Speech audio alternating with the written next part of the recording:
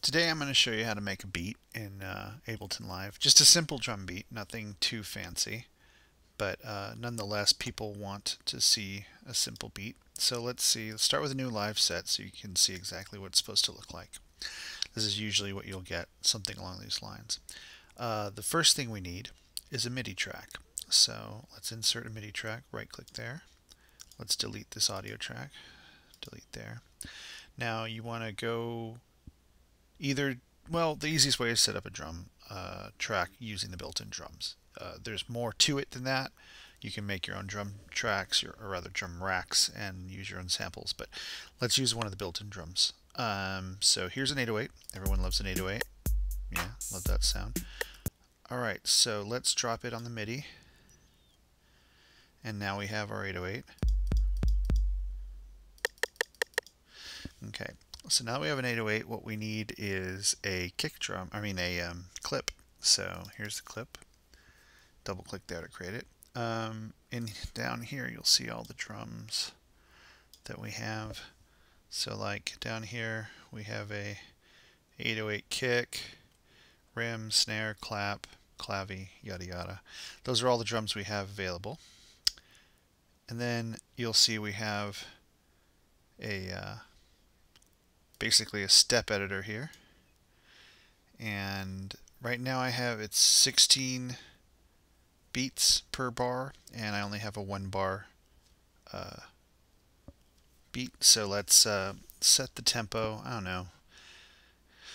Let's do something like hip hop. So we're talking around, you know, 90 beats per minute, something like that. And hit play on here. Now it's starting to play uh, we have nothing in here, so it's not triggering any triggering anything. So let's get a kick going. Put a kick on the first beat. Hear that kick, like that. Okay, so everywhere I place kicks, it's going to play these kicks, and I can play 16. I can change it to 32 if I want to do faster. I can do it off, turn the fixed grid off, and set any number amount of beats that I want, but they get smaller and smaller and they get less precise as far as timing goes. So let's go with 16 for now. And we'll start, uh, put a kick, let's see.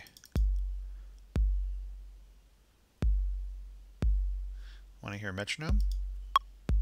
There's our metronome. Click it to turn it off if you want. We don't really need it on right now because I'm not putting these in by playing along. I'm just doing it like an Excel spreadsheet and filling in the blanks. So let's turn that off, but let's give ourselves a more interesting uh, metronome by actually putting closed hi-hats on every other beat. Like that. Okay, now you'll notice down here these little things. These are velocities. So I can select a hit like here and I can lower the velocity like that and it makes it louder or quieter.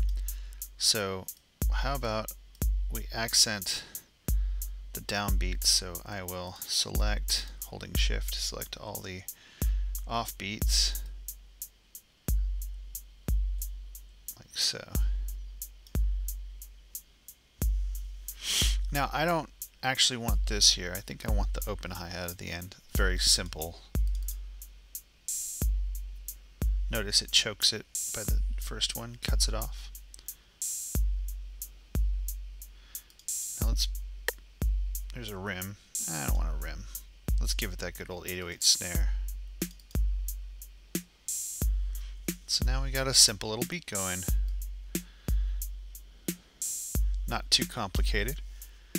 But what about, uh, you know, let's make it a little longer, a little different. So we can add another bar, change this to 2 for the length.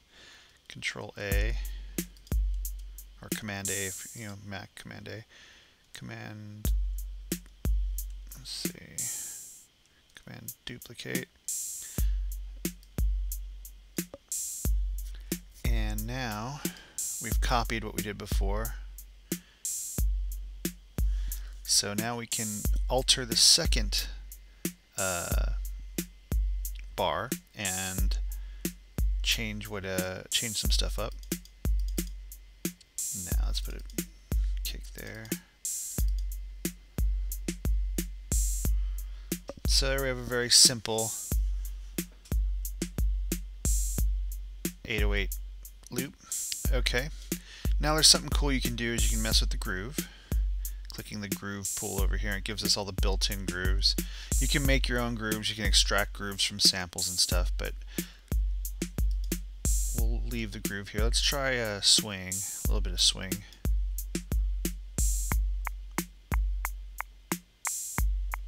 A little bit, yeah, just a little bit of swing, a little bit of relaxed beat. So let's try that.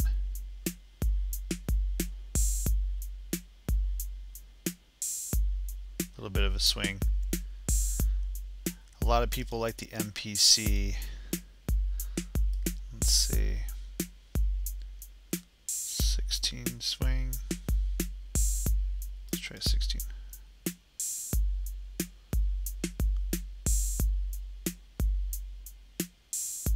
Can kind of feel the feel, you know, changing. You can turn it off. It's straight. Like that. Kind of like the MPC swing. A little more, uh, whatever little little sauce there. All right, now what if you wanted to add something like some delay or you wanted to distort it? Well, you go to your audio effects. You go for an effect like let's put the ping pong delay on there just for hell of it.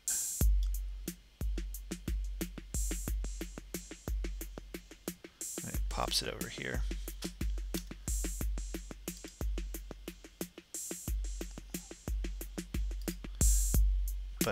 You could also do stuff like overdrive. Where's the overdrive? There it is.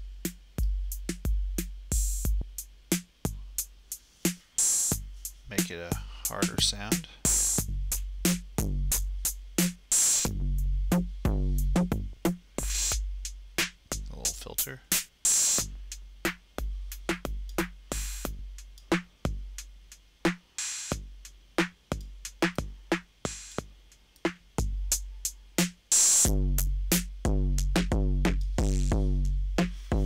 Some of that Nine Inch Nails sound.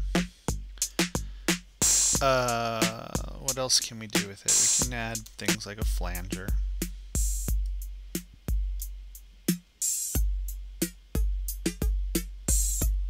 Lots of little fun stuff you can do. But that is your basic uh, drum beat. As simple as that. Um, inside here, there's all sorts of other things you can do.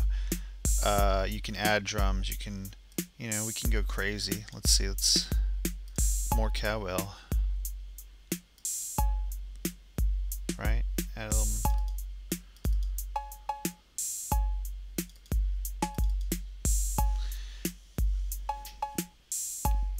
Alright, it's very simple. I need a little high, high toms.